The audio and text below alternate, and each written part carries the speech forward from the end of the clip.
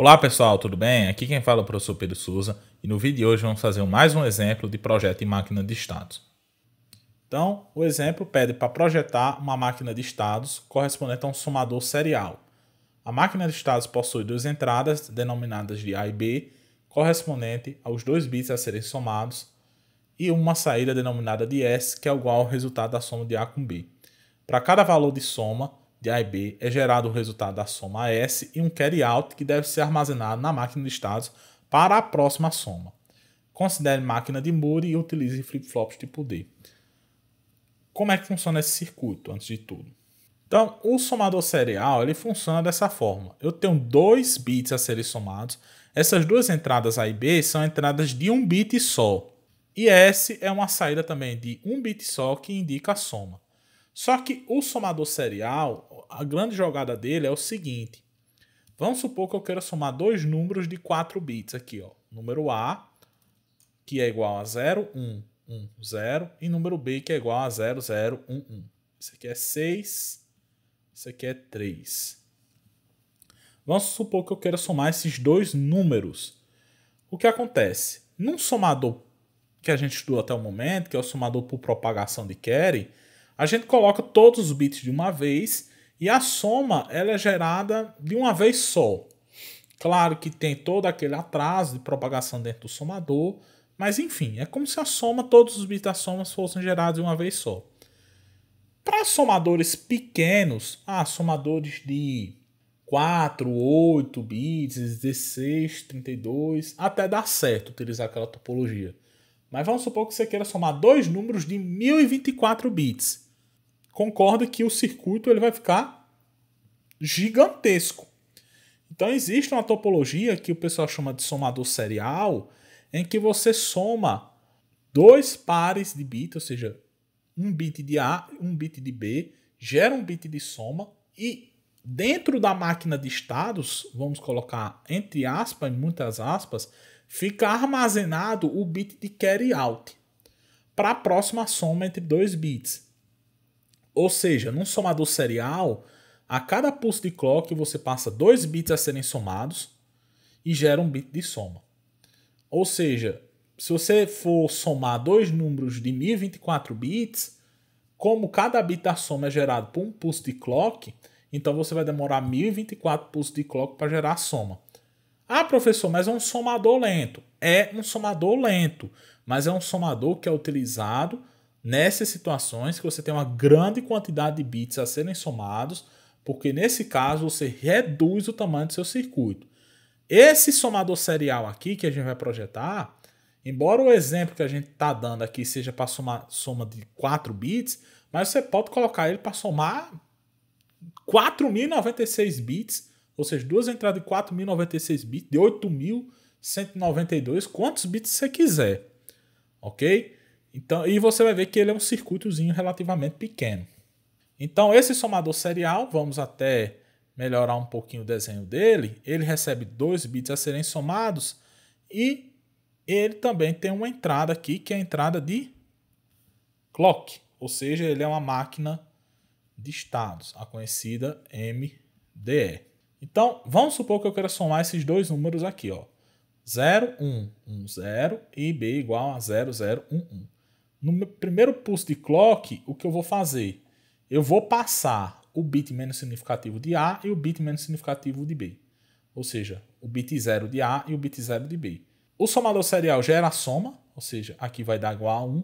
E dentro dele vai armazenar o bit de carry. Então, nesse momento, qual o bit de carry que está armazenado aqui no meu somador serial? Aqui a minha saída é S.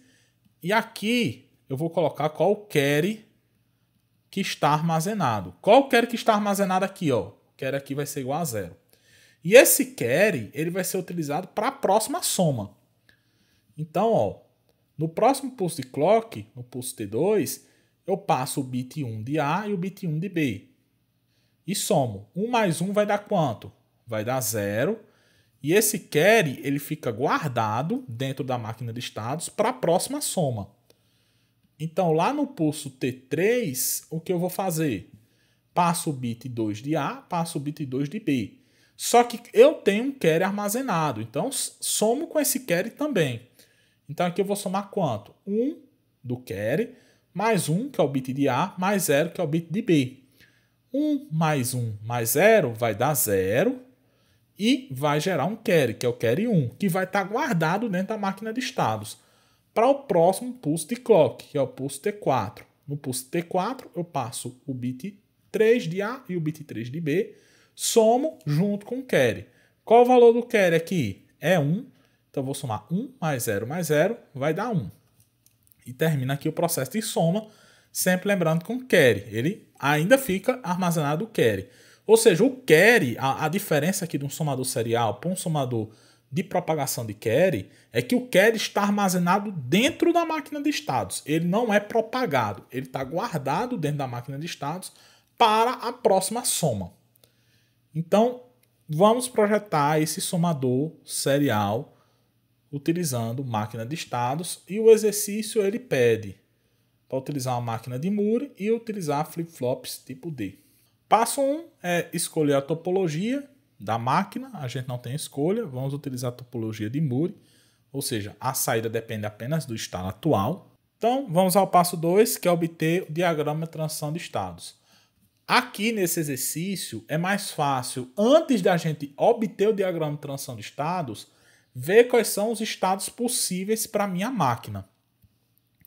Olhe, eu tenho quatro situações possíveis para um somador completo. Um somador de 2 bits, no caso, que é o que eu quero projetar de forma serial.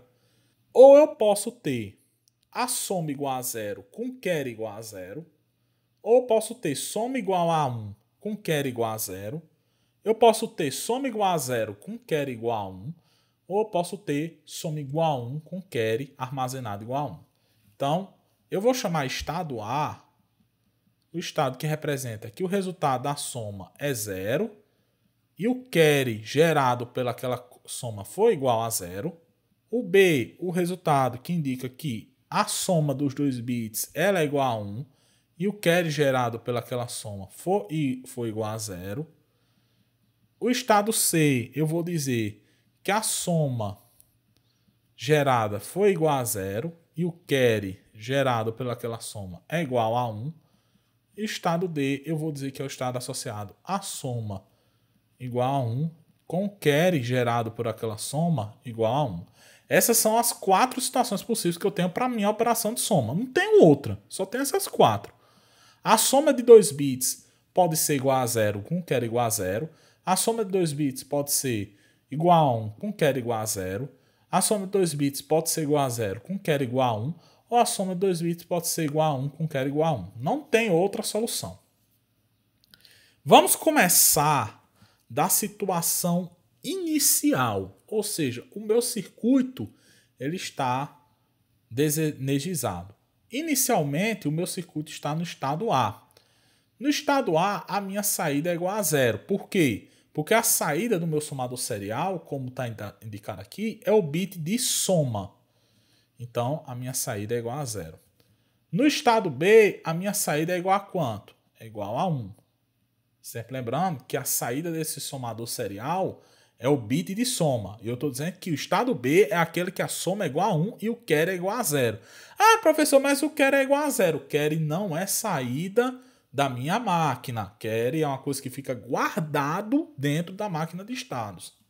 O estado C, a minha saída é igual a zero e o carry é igual a 1.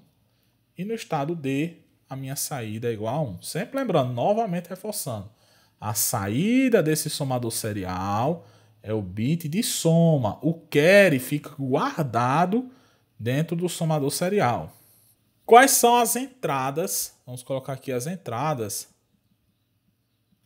da minha máquina de estado. As minhas entradas é A e B.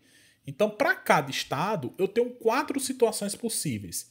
Eu tenho A e B 00, A e B 01, A e B 10, A e B 11. O que eu vou fazer é o seguinte: para cada um desses estados, eu vou ver qual é o estado próximo para 00, 01, 10 e 11. Como é que eu faço isso? É, é ridículo. É só você somar os dois bits e vai ver qual é a situação que vai cair. Por exemplo, vou começar do estado A. No estado A, meu bit de carry é igual a zero, ok? Então eu tenho meu bit de carry igual a zero. Se as minhas entradas forem iguais a 0, 0, o que eu estou fazendo? Eu estou somando A, que é 0, com B, que é 0, com carry. Ah, professor, tem que somar com carry? Claro que tem. Então eu estou somando 0 com 0 com 0. O 0 do A, o 0 do B e o 0 do carry, que é do próprio estado A. Quando eu somo 0 de A com 0 de B com 0 de carry, qual o resultado disso? É 0 com carry 0, não é? 0 mais 0 mais 0 é 0 com carry 0. Qual o estado que representa soma 0 com carry 0? É o estado A. Então, caso a minha entrada for igual a 0, 0, meu próximo estado é A. Ah, professor, se minha entrada A foi igual a 0 e minha entrada B foi igual a 1, qual o resultado aí? Aí eu somo o bit de A com o bit de B, mais o bit de carry, que no estado A ele vale 0. Então, eu estou somando A igual a 0, mais B igual a 1, então eu estou somando 0 mais 1, mais o carry, que no estado A vale 0. Então, estou somando 0 mais 1 mais 0. Qual o resultado dessa soma? É 1 com carry 0. Qual estado que representa soma 1 com carry 0? É o estado B. Então, do estado A, caso a minha entrada for 0, 1, eu vou para o estado B. Caso a minha entrada seja igual a 1, 0, estou no estado A, meu carry é igual a 0. Então, eu estou somando 0 do carry mais 1 mais 0. 0 mais 1 mais 0 dá quanto? Dá soma 1 com carry 0. Qual é o estado que representa soma 1 com carry 0? É o estado B. Então, do estado A, eu vou para o estado B quando a minha entrada também for igual a 1, 0. E caso a minha entrada for igual a 1, 1, eu estou no estado A, o carry vale 0. A minha entrada A é igual a 1, minha entrada B é igual a 1. Então, eu estou somando 0 mais 1 mais 1. 0 mais 1 mais 1 dá quanto? Dá 0 com carry 1. Qual é o estado que representa 0 com carry 1? É o estado C.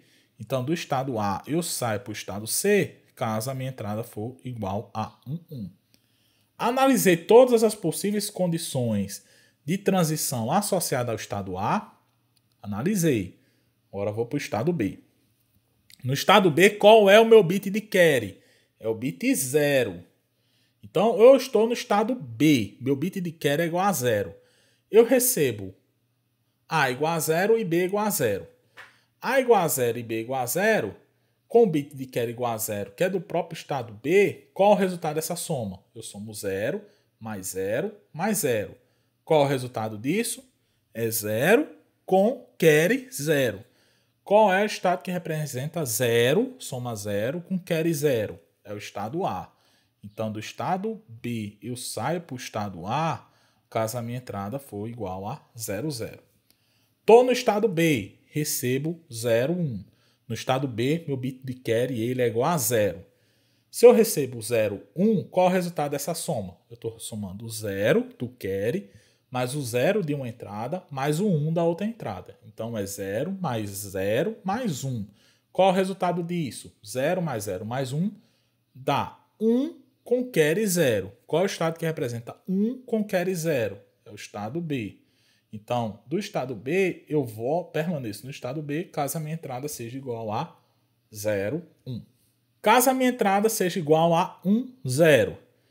Então, eu estou no estado B, minha entrada é igual a 1, 0. Qual a soma que eu estou fazendo? O 0 do carry do estado B mais 1 da primeira entrada mais zero da outra entrada. Então, estou somando zero mais um mais zero. Qual é o resultado dessa soma? De zero mais um mais zero vai dar 1 um com carry zero. Qual é o estado que representa 1? Um? Soma 1 um com carry zero é o estado B. Então, caso a minha entrada for igual a 1, um zero, eu permaneço no estado B. E caso eu receba a entrada 1, 1, qual é a soma que eu vou fazer? No estado B, o valor do meu carry ele é igual a zero. Recebo dois bits uns. Então, qual a soma que eu faço? O zero do carry mais um da primeira entrada mais um da segunda entrada. Então, eu estou somando zero mais um mais um. Zero mais um mais um dá quanto? Tá, soma 0 com carry 1. Qual é o estado que indica soma 0 com carry 1? É o estado C. Então, do estado B, eu saio para o estado C, caso a minha entrada for igual a 1, 1. Pelo amor de Deus, não se confundam.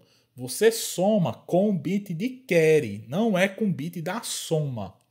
Então, no estado B, embora o resultado da soma seja igual a 1, o carry é igual a zero. É com carry que você soma. Sempre se lembre da estrutura do somador. Você soma com o carry. No estado C, o meu bit de carry ele é igual a 1, ok? Caso a minha entrada for igual a 0, 0, qual a soma que eu estou fazendo? 1 mais 0 mais 0. Qual o resultado de 1 mais 0 mais 0?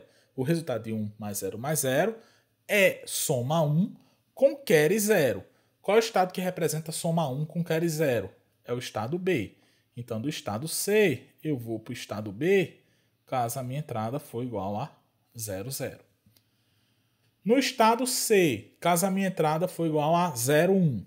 No estado C, o meu bit carry ele vale 1, ok? Então, qual a soma que eu estou fazendo aqui? 1 do bit de carry, que é do próprio estado C, mais 0 da primeira entrada, mais 1 da segunda entrada. Então, estou somando 1 mais 0 mais 1.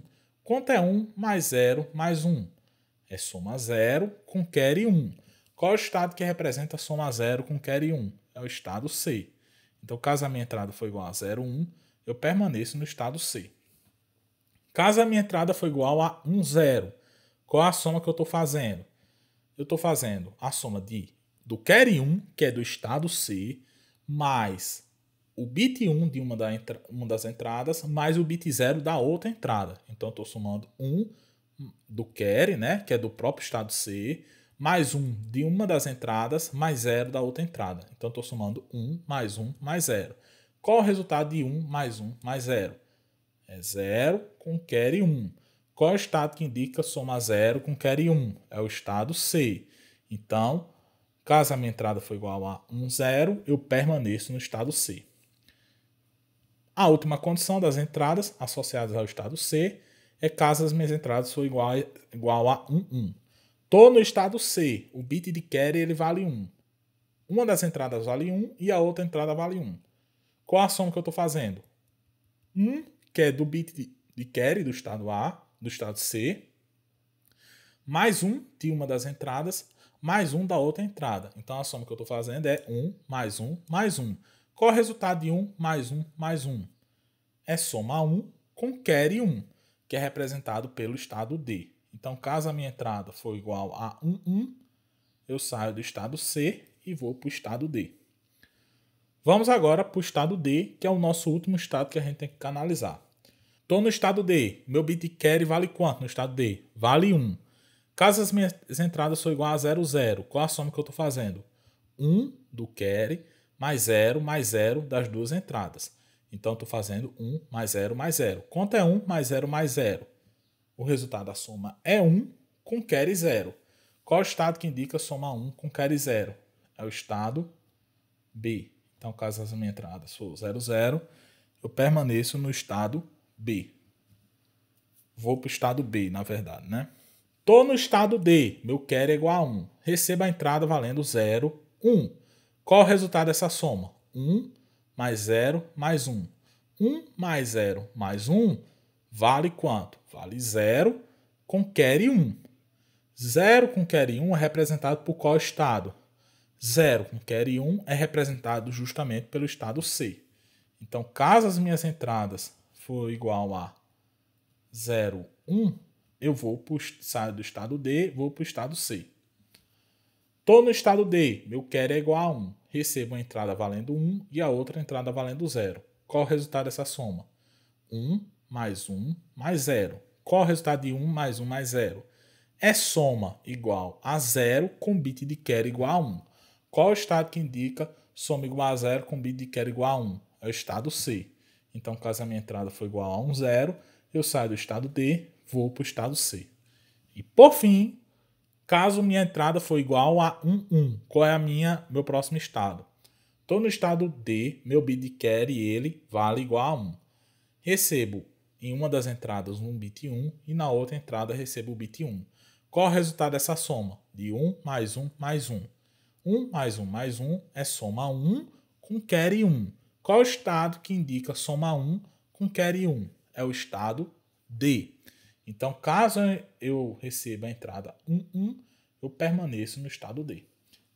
E aqui está o nosso diagrama de transição de estados.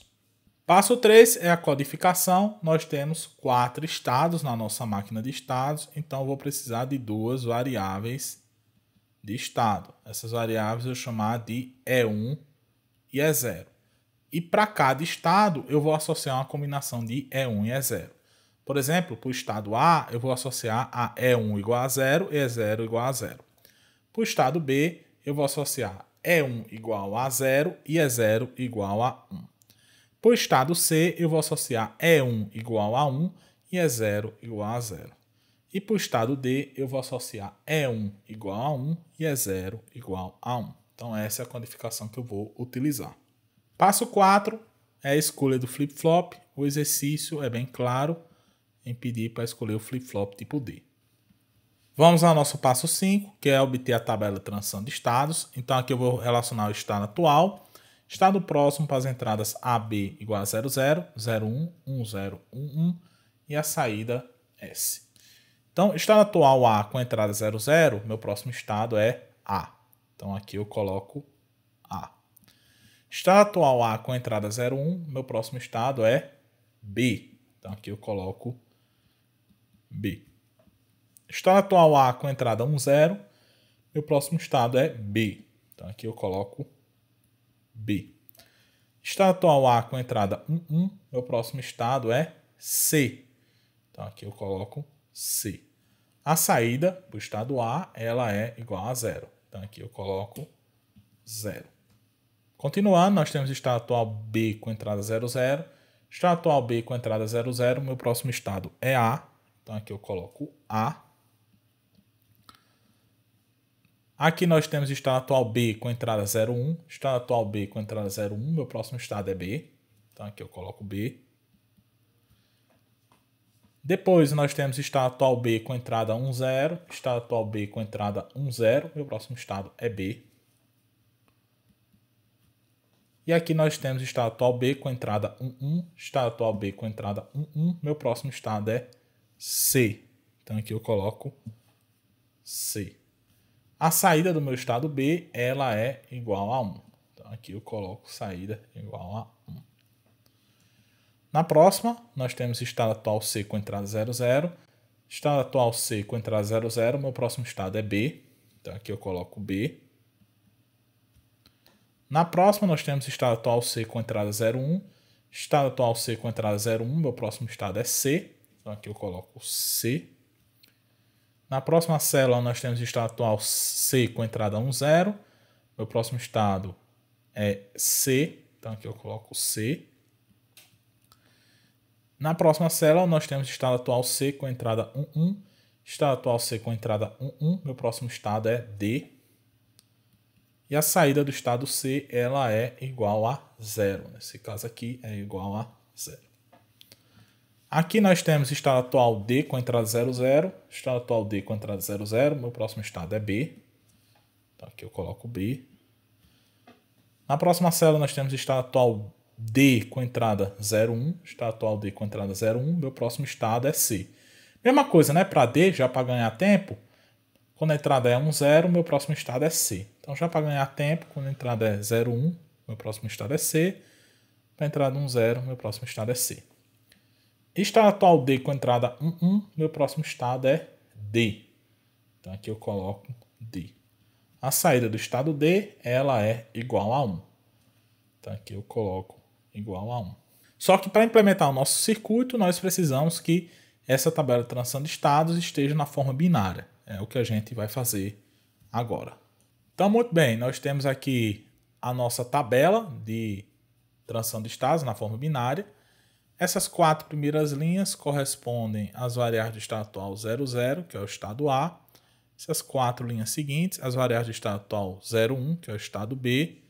essas quatro linhas seguintes, as variáveis de estado atual 1, 0, que é o estado C, e essas quatro últimas linhas aqui, as variáveis de estado atual 1, 1, que é o estado D. Então, vamos preencher essa tabela transição de estados na forma binária. Primeira linha corresponde ao estado atual A com entrada 00, meu próximo estado é A. Codificado, fica 00, saída igual a 0. Próxima linha, nós temos estado atual A com entrada 01. Meu próximo estado é B. Coloco B na forma binária, que é 01, saída 0. Próxima linha, estado atual A com entrada 10. Meu próximo estado é B. Então, coloco B na forma binária, que é 01, saída igual a 0. Próxima linha, nós temos o estado atual A com entrada 11. Meu próximo estado é C, coloco o C codificado na forma binária, que é 10, saída igual a 0. Próxima linha, eu tenho o estado atual B com entrada igual a 00. Estado atual B com entrada 00, meu próximo estado é A. Coloco A, codificado na forma binária, que é 00. A saída do estado B ela é igual a 1. Próxima linha, nós temos estado atual B com entrada 01. Estado atual B com entrada 01, meu próximo estado é B. Coloco B, codificado na forma binária, que é 01. E a saída ali é igual a 1, a saída do estado B, né? Próxima linha, eu tenho o estado atual B com entrada 10. Estado atual B com entrada 10. Meu próximo estado é B. Coloco B codificado na forma binária, que é 01. E a saída do estado B ela é igual a 1.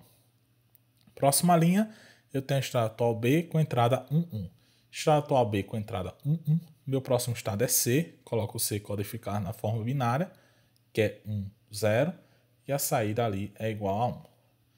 Na próxima linha, nós temos estado atual C com entrada 00. Estado atual C com entrada 00, meu próximo estado é B. Então, coloco B codificado na forma binária, que é 01, e a saída do estado C ela é igual a 0. Coloco 0. Próxima linha, eu tenho estado atual C com entrada 01. Estado atual C com entrada 01, meu próximo estado é C.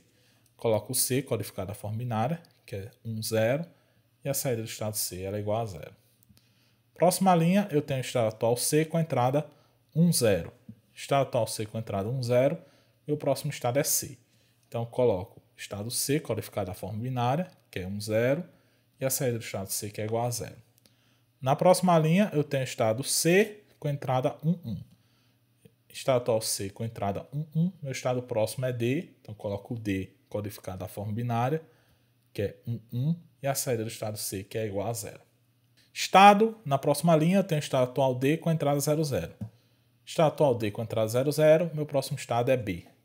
Coloco B codificado na forma binária, que é 01, e a saída do estado D ela é igual a 1. Na próxima linha, eu tenho estado atual D com entrada 01. Estado atual D com entrada 01, meu próximo estado é C. Então, coloco o C codificado na forma binária, que é 1, 0, e aqui eu coloco a saída do estado D, que é igual a 1. Na próxima linha, eu tenho estado atual D com entrada 1, 0. Estado atual D com entrada 1, 0. Meu próximo estado é C. Então, coloco aqui C codificado de forma binária, que é 1, 0. E a saída do estado D é igual a 1. E por fim, eu tenho estado atual D com entrada 1, 1. Estado atual D com entrada 1, 1. Meu próximo estado é D. Então, coloco o D codificado de forma binária, que é 1, 1. E a saída do estado D ela é igual a 1. E aqui está a nossa tabela de transição de estados. Vamos agora para o último passo, que é elaboração das expressões. Vamos agora para o nosso passo 6, que é elaborar as nossas expressões de excitação e de saída. Vamos facilitar aqui, vamos fazer no logsim, né? Isso aqui. Para fazer isso no logsim, basta você clicar em projeto e clica aqui em analisar circuito. Na janelinha que abrir, você vai digitar as entradas. E para essas expressões, as entradas são as variáveis do estado atual, que é E1 e E0, e as entradas do meu circuito, da minha máquina de estados, que é A e B. Aqui na aba de saídas, nós colocamos as saídas de excitação, que é D1 e D0. D1 é para a variável de estado E1, D0 é para a variável de estado E0.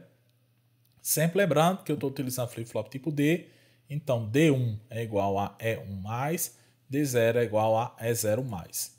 E eu tenho a minha saída S, que é a saída da minha máquina de estados.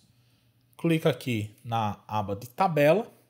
E aqui na minha aba de tabela eu consigo digitar a minha tabela de transição de estados. Então vamos digitar. Vamos colocar aqui 0, 0, 0, que é a primeira linha, as saídas, né? Lendo em ordem, D1, D0 e S. As saídas é 0, 0, 0. Na segunda linha é 0, 1, 0. Na terceira linha é 0, 1, 0. Na quarta linha é 1, 0, 0. Na quinta linha é 0, 0, 1. Na sexta linha é 0, 1, 1.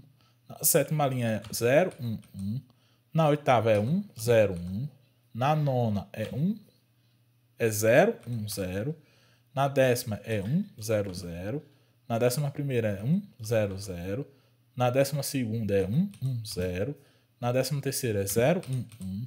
Na décima quarta é 1, 0, 1. Na décima quinta é 1, 0, 1. E na décima sexta é 1, 1, 1.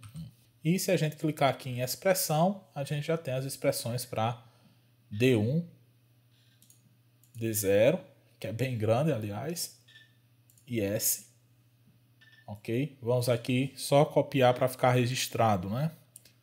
As expressões para D1, para D0 e para S.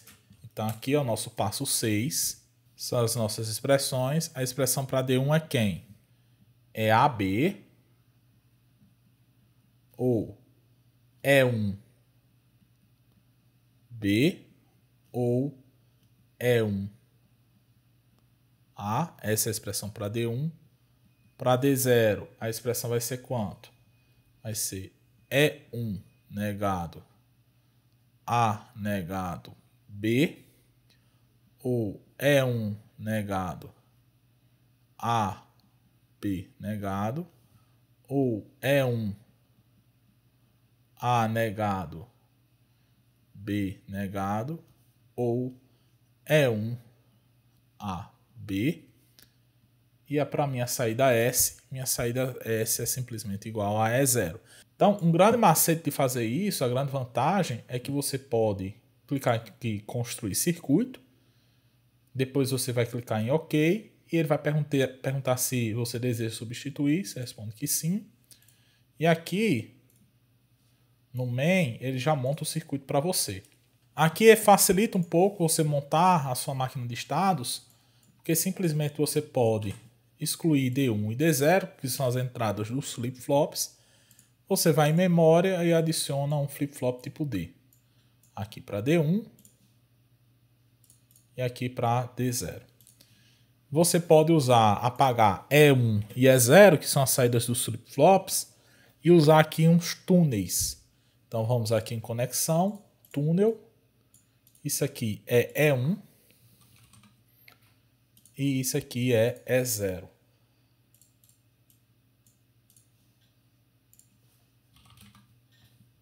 E aqui, ó, em cima era E1, então eu vou criar, criar um túnel aqui para E1. Então, quando eu estou fazendo um túnel aqui para E1, essa, esse fiozinho aqui é como se estivesse ligado aqui. O pessoal chama isso de túnel, né? Que literalmente está funcionando como um túnel. E aqui é o túnel para E0.